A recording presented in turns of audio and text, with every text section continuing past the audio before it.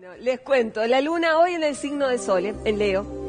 O sea que es bueno para todos los leolinos, mucho mejor. Y para Aries, Leo, Sagitario, es una luna que ayuda a los emprendimientos, los ayuda sobre todo a animarse. Y una luna en Leo siempre nos da a todos la capacidad de hacer lo que nos gusta. Es, es Leo es el signo del hobby, del placer, de lo que uno tiene ganas, ¿no? Y Aries puntualmente eso, el romance, tal vez algunas cosas nuevas que puedas este, animarte a hacer, pero un día donde realmente vas a estar bien. Tu carta es el rey de varas, que está diciendo que hay un momento muy oportuno para avanzar, un buen momento para realmente hacer cosas de riesgo y donde la conquista está asegurada. Excelente momento para el amor, excelente, excelente momento para el amor y excelente momento para el trabajo, Aries. O sea que aprovecha hoy y mañana a planificar todas las cosas que tengan que ver con tu trabajo y con la pareja y el amor.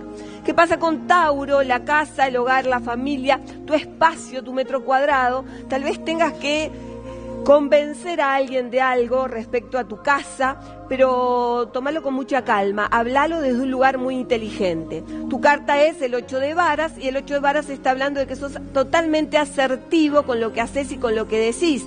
O sea que es probable que alguien esté esperando que vos digas algo y justo lo que vos estás diciendo es lo que el otro quería escuchar. Bien importante, porque a veces decimos cosas que el otro no está eh, afín a escuchar. Gemis, el día de los viajes cortos, las posibilidades importantes de hacer cosas nuevas. Si tenés que dar exámenes, animate. A pesar de que no estés como muy, muy, muy pronto o muy preparado para dar exámenes, animate porque realmente es, eh, es mucho más fácil hoy comunicar tu carta es las de varas, hay una voluntad de hacer algo nuevo, es probable que te animes a mm, conquistar algo. Esto puede ser un trabajo o puede ser un amor. Las de, eh, las de varas también representan el nacimiento de proyectos o el nacimiento de varones en la familia. ¿Qué pasa con cáncer? Estudia de la plata, manejar tu economía hoy y mañana, planificar la economía del mes es sumamente importante. Tu carta es el rey de oros, el rey de oros te está dando la posibilidad de que entre seguramente dinero a tu casa, a pesar de que puede ir muy lento, a pesar de que vos pensás que bueno, que se te hace eterno, que nunca llega, el dinero va a estar llegando y va a llegar bien. ¿Qué pasa con Leo? Dijimos que la luna te está visitando y si la luna te visita te da oportunidades, te da la capacidad de emprendimientos y te da la posibilidad de arriesgarte. Tu carta es la sota de varas, que habla de lo mismo, habla de riesgos, de aventura, de animarte a hacer cosas nuevas. Entonces aprovecha esta energía porque realmente por dos días te va a estar acompañando y te da posibilidades que son muy buenas. Ahora Virgo, son dos días donde vas a tener que recluirte, estar muy atento y sobre todo no hablar cosas que no tenés que decir en este momento. No tomes decisiones porque cuando la, vos sabes bien que cuando la luna está en tu signo anterior, lo ideal es mantenerse tranquilo. Tu carta, que es el 8 de copas, está hablando de un abandono inteligente de algo, algo que te venía haciendo mal, algo que realmente te estaba agobiando, vos decidís dejar eso. Puede ser una persona o puede ser una situación, dejar el trabajo o dejar una situación que te venía agobiando. ¿Qué pasa con Libra? En realidad Libra está en un momento donde todas las personas que se acercan pueden traer noticias que vos estabas necesitando. Pueden ser noticias que tengan que ver con el amor o pueden ser noticias que tengan que ver con el dinero. Cualquiera de las dos opciones pueden ser y te hacen bien. Tu carta es el 3 de oros. El 3 de oro está hablando de una situación de ser muy coherente con lo que querés, con lo que haces y con lo que sentís. Por lo tanto, no hay nada que se te oponga. O sea, todas las cosas van a funcionar y van a funcionar bien. Escorpio, un día de logros, un día de estabilidad, un día excelente, sobre todo para concretar. Yo te diría que te tomes el día para disfrutar las cosas buenas que te están pasando. Tu carta es la reina de espadas, la reina de espadas es la que mira el futuro.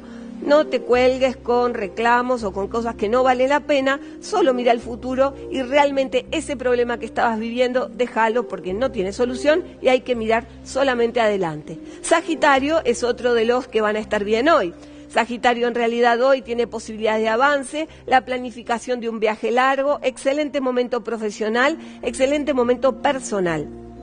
Tu carta es la sota de oros y hay alguien que viene con una solución a un problema. La sota de oros es, la venida o es la llegada de dinero, pero también es la solución a algo que te tenía preocupado o que no le encontrabas la vuelta o la salida. Capricornio, el día de las oportunidades, el día de la suerte y aquellos que les gusta el juego de azar pueden probar porque en realidad es un momento donde la fortuna puede estar de tu lado.